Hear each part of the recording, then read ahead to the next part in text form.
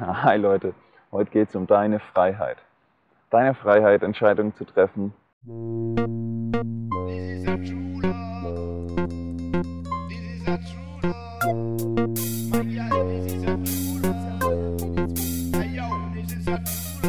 Und zwar ist mir bei uns in der Gesellschaft immer wieder aufgefallen, dass viele heutzutage sehr dieses Freiheitsding leben. Und denken, sie haben die Freiheit, alles Mögliche zu tun und zu lassen und frei zu leben, frei zu lieben, frei zu sein und ständig was Neues zu machen. Und ja, dazu hat jeder heutzutage die Freiheit und das ist wunderschön. Und ein wichtiger Punkt dabei ist aber, wir haben immer die Freiheit, uns zu entscheiden. Aber die Frage ist, wie frei entscheiden wir wirklich? Ich sehe immer wieder, dass viele Menschen nicht wirklich frei entscheiden. Wenn man mal mit einem klaren Blick hinschaut, dann sieht man, dass sich bei vielen Menschen, bei den meisten Menschen gewisse Muster ständig wiederholen. Das heißt, du siehst zum Beispiel in Beziehungen ständig dieselben Muster wiederholen. Am Anfang ist es vielleicht himmelhoch jauchzend und ja, total glücklich verliebt. So, und dann ist es immer wieder nach ein paar Wochen, nach einem Monat oder nach einem Jahr vorbei und immer wieder das gleiche Schema, nach immer wieder den gleichen Mustern und dann ist man wieder traurig und dann gleich wieder irgendwie ins nächste gestürzt. Nur zum Beispiel. Und häufig ist es einfach nur ein impulsives Handeln, ein Reaktionshandeln, das überhaupt keine freie Entscheidung ist. Man weiß schon vorher, was derjenige macht und wie derjenige reagiert, wenn man den mal ein paar Jahre kennt, oft nur ein paar Wochen, weil es immer wieder die gleichen impulsiven Muster sind. Und es ist keine wirkliche freie Entscheidung. Es ist eine unbewusste Entscheidung. Und eine unbewusste Entscheidung ist im Prinzip keine Entscheidung, weil sie immer nur nach denselben Mustern abläuft. Und wenn jemand nicht anfängt, bewusst zu handeln, dann kannst du immer wieder sagen, hey, der macht das. So, du sagst ein falsches Wort und du weißt genau, wie er reagiert. Du weißt bei gewissen Menschen genau, welches Wort, welche Sachen ich sagen kann und welche nicht. Weil wenn ich genau die Sachen anspreche, dann geht er immer an die Decke. Es ist immer die gleiche Reaktion, da ist keine freie Entscheidung dabei. Da ist keine Entscheidung dabei, wie reagiert wird. Da ist keine Freiheit dabei. Und es gibt heutzutage viele Freiheiten, aber man muss immer bei sich selbst reflektieren. Warum handelt man so? Die meisten freien Entscheidungen, die heutzutage getroffen werden, das sind nur impulsive Handlungen, wie gesagt, und sind keine wirklich freien Entscheidungen. Und dann ist es auch so, du als Individuum hast natürlich die Freiheit zu entscheiden, wie du möchtest. Aber das hat eine Auswirkung auf das Gemeinwohl, auf deine Mitmenschen. Und man sagt ja auch, was du nicht willst, dass man dir tut, das fügt auch keinem anderen zu. Kleines Sprichwort. Kennt wahrscheinlich jeder. Es gibt einfach Regeln, die wir gemeinsam in den Konsens getroffen haben, um unser Leben miteinander zu vereinfachen. Dazu zählen zum Beispiel auch so simple Sachen wie Straßenverkehrsordnung. So, wir haben da Ampeln, wir haben Zebrastreifen und wir fahren alle auf der rechten Seite. Natürlich hast du das Recht, du hast die Freiheit hier in der Welt zu handeln, wie du möchtest. Du hast die Freiheit auch auf der linken Spur zu fahren. Du hast die Freiheit bei Rot über die Ampel zu gehen. Aber die Konsequenz ist daraus eben, dass du vielleicht überfahren wirst. Und es ist nur clever, sich an bestimmte Regeln und Gesetze zu halten, weil das einfach nur ein gemeinsamer Konsens ist, den wir getroffen haben, um besser miteinander auszukommen. Weil es halt vernünftig ist, wenn jeder auf der Straße auf der rechten Spur fährt. So. Und wenn einer eben auf der linken Spur fährt, ist es halt schwachsinnig. Und damit gefährdet man nicht nur sich selbst, sondern auch andere Menschen. Und wenn du meinst, du hast die Freiheit, ständig Entscheidungen, auch im Privaten, auch wenn das keine Gesetze sind, zu treffen, die trotzdem Auswirkungen auf andere haben, dann ist es einfach nur unbewusst und egoistisch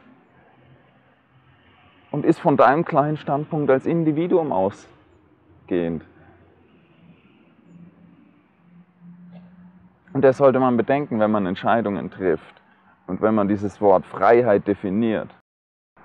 Und wenn man jetzt zum Beispiel mal ganz konkret Beziehungen anschaut, Ehen heutzutage, die ja sehr impulsiv aus Freiheit heraus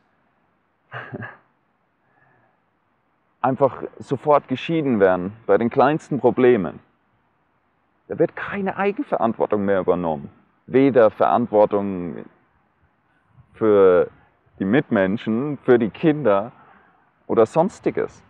Man muss sich zum Beispiel mal überlegen, wenn man normalerweise eine Bindung eingeht, dann entscheidet man sich frei dazu.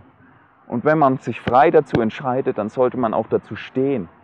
Heutzutage ist nirgends mehr dieses Commitment.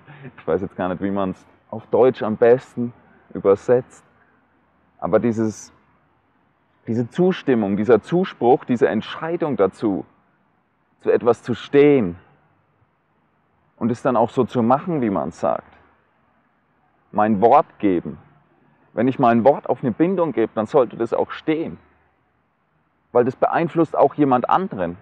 Wenn es nur dich beeinflusst, kein Problem. Aber wenn du was sagst und dich festlegst und davon andere Menschenleben abhängig sind, wie zum Beispiel in einer Beziehung, in einer Ehe oder wenn du dich für Kinder entscheidest, wenn du dich dazu entscheidest, Kinder zu bekommen, dann ist es normalerweise ein Wort, das du gibst, das für mindestens 20 Jahre zählt normalerweise.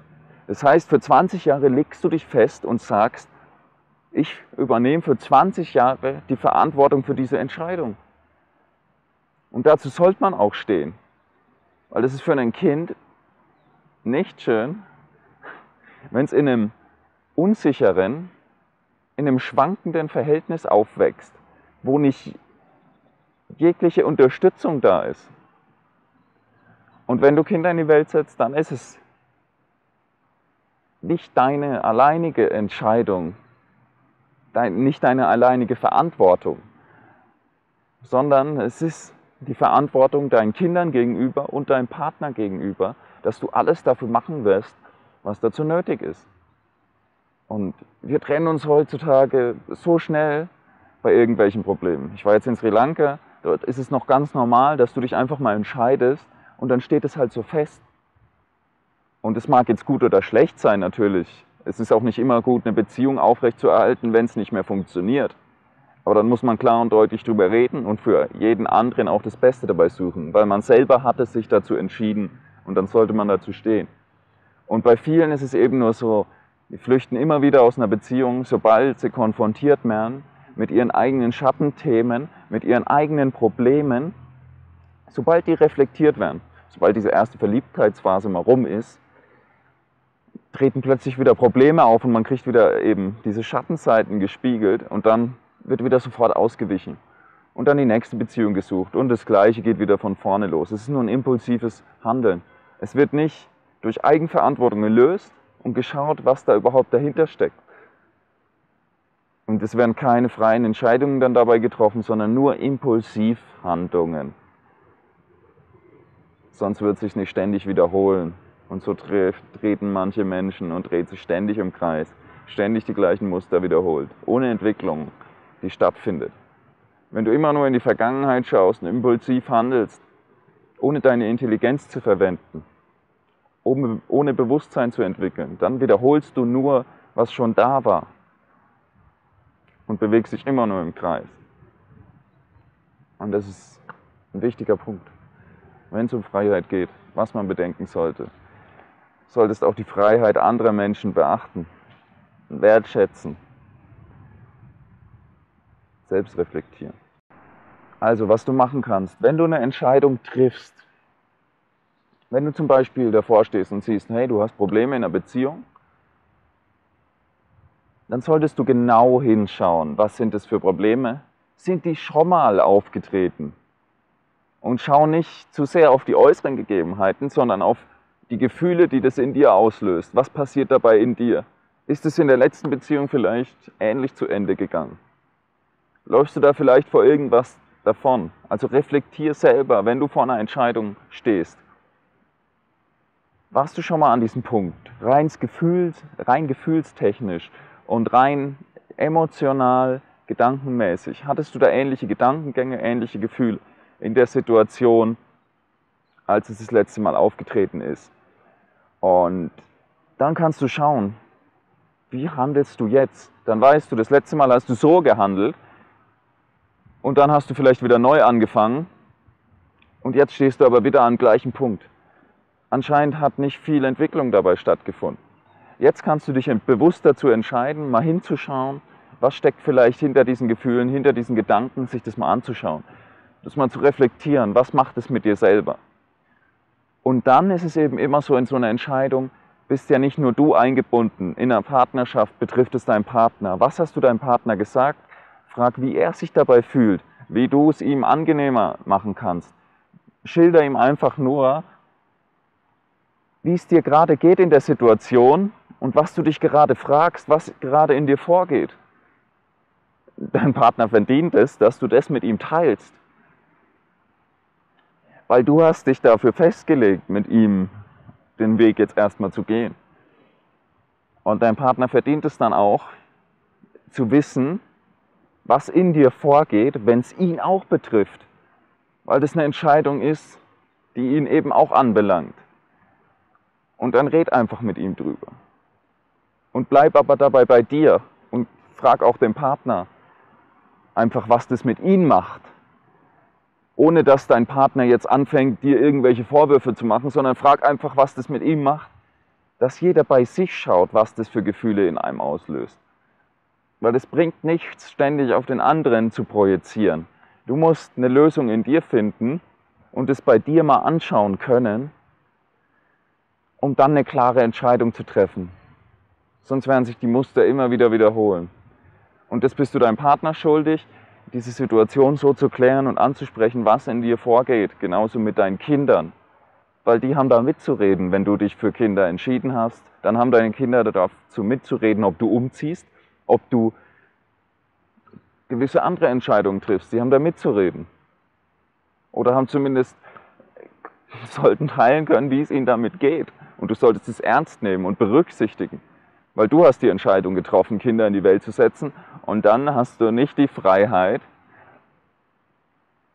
alles Mögliche zu machen, ständig mit anderen Dingen beschäftigt zu sein und dich nicht um deine Kinder zu kümmern. Das ist eine Entscheidung, die du dabei getroffen hast und das solltest du dann mit denjenigen besprechen und dann einen Konsens treffen. Offen drüber reden, wie du dich dabei fühlst, was für Gedanken dabei hochkommen. Das ist deine Freiheit. Ja, die hat jeder. Ansonsten, mich würde deine Meinung dazu brennend interessieren. Also schreib einfach unter das Video und erzähl, was du davon hältst, was da deine Erfahrungen mit vielleicht sich wiederholenden Prozessen und Entscheidungen sind. Ja, macht's gut, Leute. Ciao.